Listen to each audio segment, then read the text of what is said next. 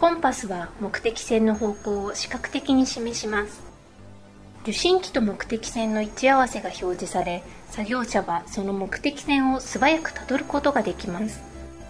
コンパスが不規則な動きをして合わせるのが難しい時は探索信号が歪んでいることを示しています。画面右下に探索進路が表示されます。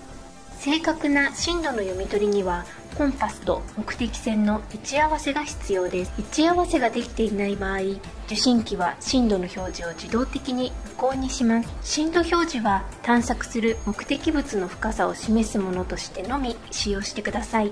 画面の左下に表示される電流の測定値は正しい目的線を識別するために使用されます。